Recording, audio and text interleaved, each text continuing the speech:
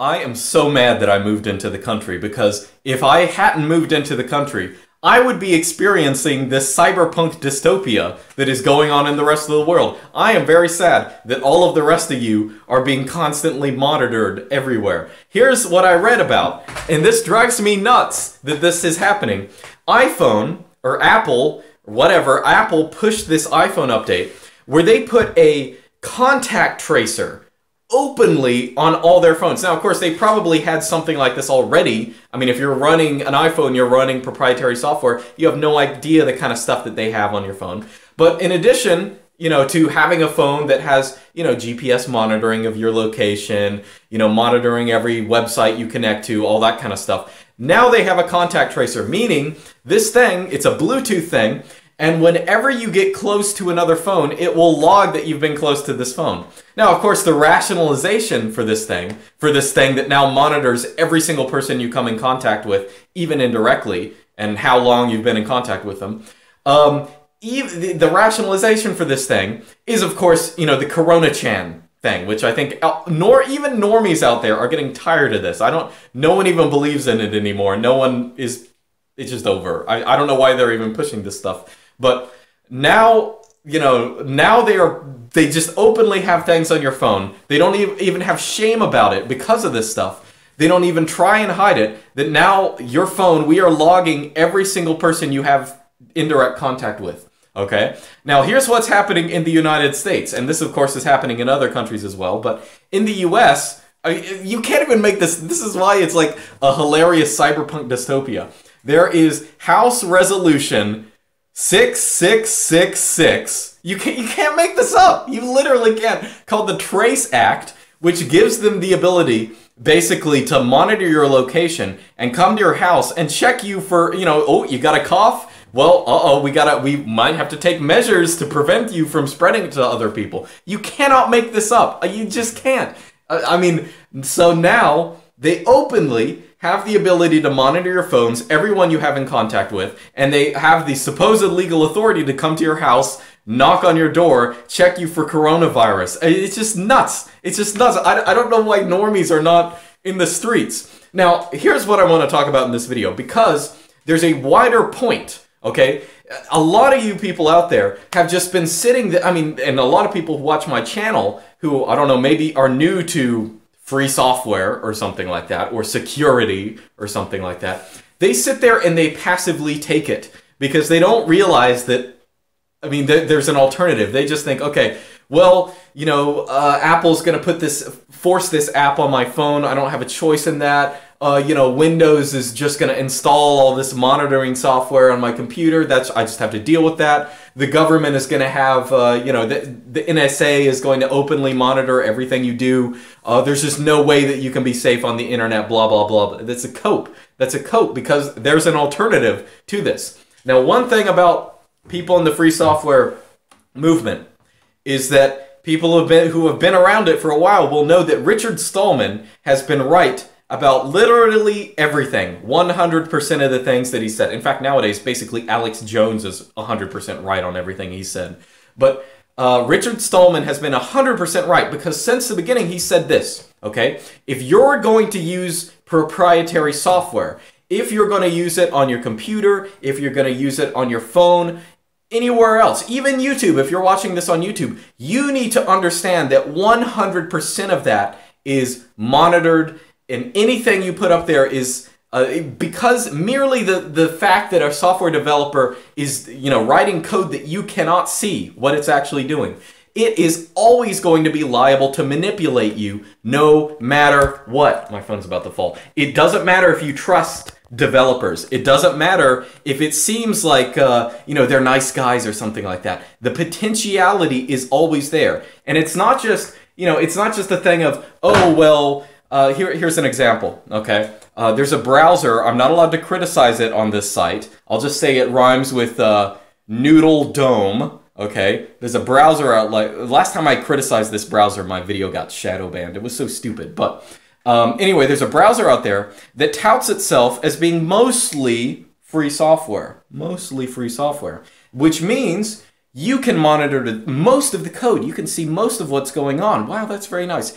But using software that's mostly free software is sort of like it's like saying, "Oh, here's my girlfriend. She's 95% AIDS free." Okay? Is that a would you would you be with a girl who's 95% AIDS free, 95% gonorrhea free? Is that a good deal? And the same thing goes with software. It only takes one line of code to manipulate you, to take data from you. Take your passwords, take your GPS location, take everything about you. It take it is so easy to do with proprietary software.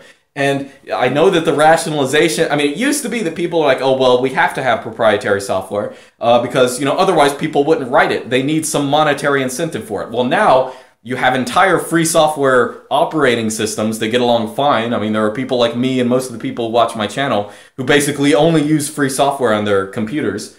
Um, so that that's not really a good argument. But the real draw of proprietary software is especially nowadays is it's so great for monitoring people because you can do anything with it. And people have gotten so complacent.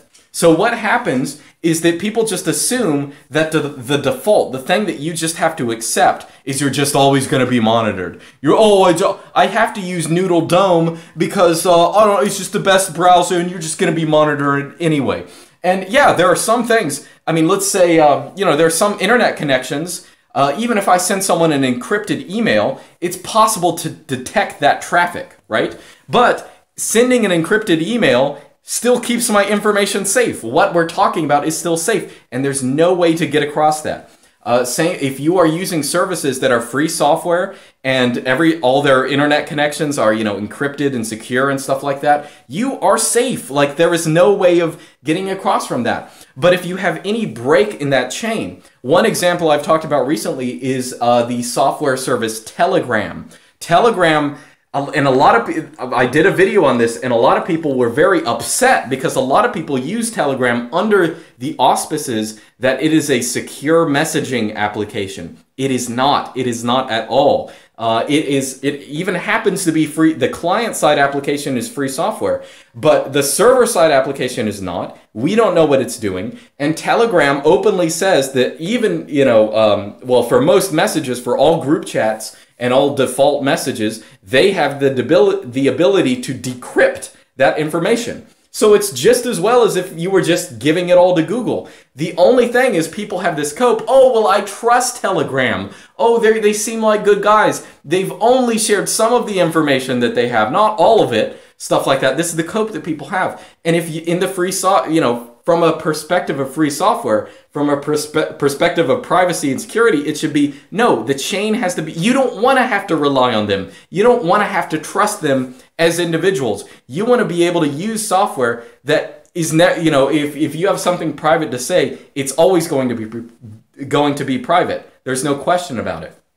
Um, so in the case of cell phones, right? So iPhone has forced this update. Now the sad fact about cell phones, people will ask me about cell phones, and I've done passive aggressive videos on them because as it is right now, there's basically I mean, outside of some really speculative products out there, there's basically no such thing as a secure phone. Even phones that run 100% free software, they're still pretty easy to monitor. Uh, I mean, even of course, your, your cell provider is going to have the ability to monitor the stuff you do. Now, that's not, I'm not, I'm not making perfect the enemy of the good.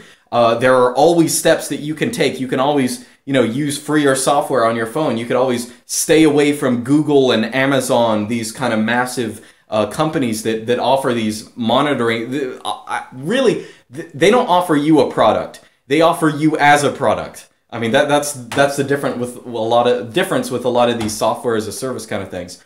So anyway the thing it's it's just nuts to me the kind of thing that things that people will put up with nowadays. Like they are just openly monitoring people. And you know what? They have been for a long time. I remember when the Snowden stuff came out. Uh, you know, what is it? Like ah, man, what has that been like 5 5 years or something? It's been more than that. I don't know, it's crazy, but you know, there was one week where people were like, "Oh, well, the government's never going to monitor us. Do, they don't actually care about that." And then all the Snowden came out, Snowden stuff came out about the NSA literally just doing that, having profiles of everyone, monitoring basically all internet connections that they can monitor. And then people go to the state of complacency where they're just like, well, of course they were going to do that. Blah blah blah. It doesn't really matter. And the the fact of the matter is, you can escape that. You might not be able to escape it 100%, but you can always make steps to make your digital life more secure.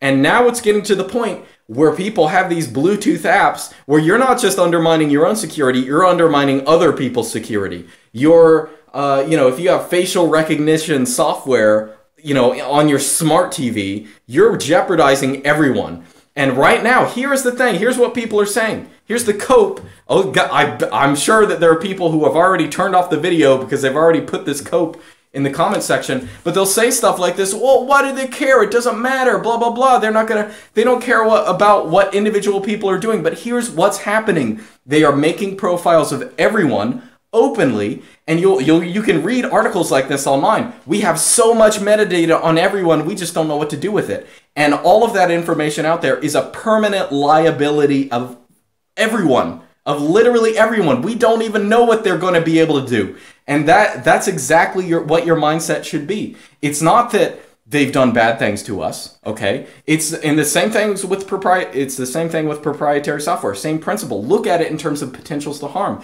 it's not that they've done a google has done a bad thing to me yet it's that Google now has a share of power over my life and everyone else's that is massive. We don't even know the kind of neural net technologies, the kind of the kind of AI they're going to develop, what you could actually do with this kind of stuff. So at every point in time, I mean, this is not tinfoil stuff. This is stuff that's out in the open. Just abstain from everything you can. Don't participate in what you can. If you have a cell phone, do what I do and keep it at home all day. Just use it as a house phone. Use it, you know, if you need to use some two-factor authentication thing. Actually, I need to figure out two-factor authentication on my computer. If anyone knows how to send and receive, you know, stuff uh, like text messages just from a computer, not even having a phone, tell me. I'd like to know that. But um, anyway, so that's it. I'm not again. I'm not saying to make the make perfect the enemy of the good. There are always things that everyone can do to improve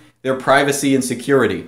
And you should never say, "Oh, well, it's I'm just going to give up." Okay? That's a stupid thing to do. Install GNU slash Linux or install another free operating system. Uh, don't use your cell phone. Uh, if you do use a cell phone, use free software applications. If you use Linux, use free software applications. Uh, yeah, that that should be basic stuff. That should be the things you should be teaching your kids nowadays. We don't know how bad it's going to be when when they're going to be our age. So just yeah, that's it.